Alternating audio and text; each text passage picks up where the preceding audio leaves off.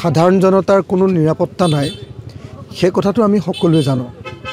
আৰু সেই সময়খিনিত আলফাৰ সেনাপ্ৰধান আৰু অসমৰ মুখ্যমন্ত্ৰীৰ মুখ চুপতি ডি জি পি আৰু আলফাৰ মুখ চুপতি এইবিলাকে একো ভাল মানে ইংগিত বহন নকৰে। এইবিলাকে সৰ্বশেষত ক্ষতিয়ে কৰিব কাৰোবাৰ জনতাৰ ক্ষতিয়ে কৰিবগৈ। গতিকে মই ভাবোঁ যে এনেকুৱা তৰল পাতল এনেকুৱা ধৰণৰ বক্তব্যবিলাক বাদ দি প্ৰকৃত অৰ্থত আইন শৃংখলা পৰিস্থিতি ৰক্ষা কৰিবৰ কাৰণে ডি জি পিয়ে কাম কৰিব লাগে।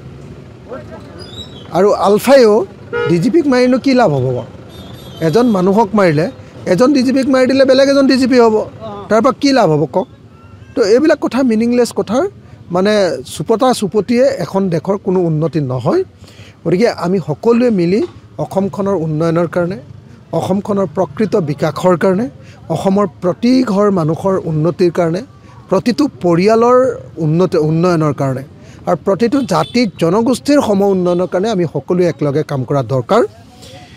আমাৰ নিচিনা সৰু ৰাজ্য এখনৰ অনুন্নত ৰাজ্য এখন দুখীয়া ৰাজ্য এখনে সদায় ঋণ ল'বলগীয়া এখন ৰাজ্য হে সপ্তাহে সপ্তাহে এহেজাৰ কোটি পাঁচশ কোটি টকাৰ ঋণ ল'বলগীয়া এখন ৰাজ্য।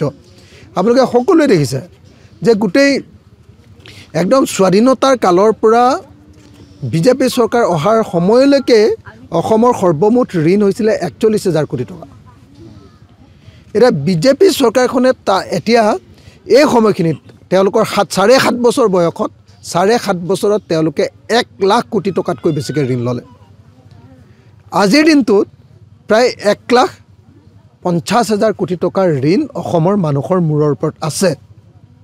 অসমৰ এজন এজন মানুহৰ ওপৰত প্ৰায় চল্লিছ হাজাৰ টকাৰ ঋণ আছে। আমি দুখীয়া ৰাজ্য। আমাৰ কোনো এখন পথাৰত একডৰা পথাৰত পানী যোগান নাই। আমি এতিয়াও বৰষুণৰ কাৰণে বতৰ ভাল কৰিব লাগে বৰষুণ দিব লাগে পথাৰত। খেতিৰ কাৰণে এতিয়াও আমি ভেকুলীৰ বিয়া পাতিবলগীয়া ৰাজ্য। তেনেকুৱা এখন ৰাজ্যত এনেকুৱা ধৰণৰ মুখ চুপুতি মৰা এনেকুৱা অৰ্থ অৰ্থহীন বাগাড়ম্বৰ বকবাজ এইবিলাক বন্ধ হ'ব লাগে। এইবিলাকৰ চুপতিয়ে আমাৰ কোনো উন্নয়ন নকৰে। মই ভাবোঁ যে আমি সকলোৱে মিলি ৰাজ্যখনৰ উন্নয়নৰ কাৰণে কাম কৰিব লাগে। তাৰ বাহিৰে অন্য কোনো কথা পাতি থাকি একো লাভ নাই।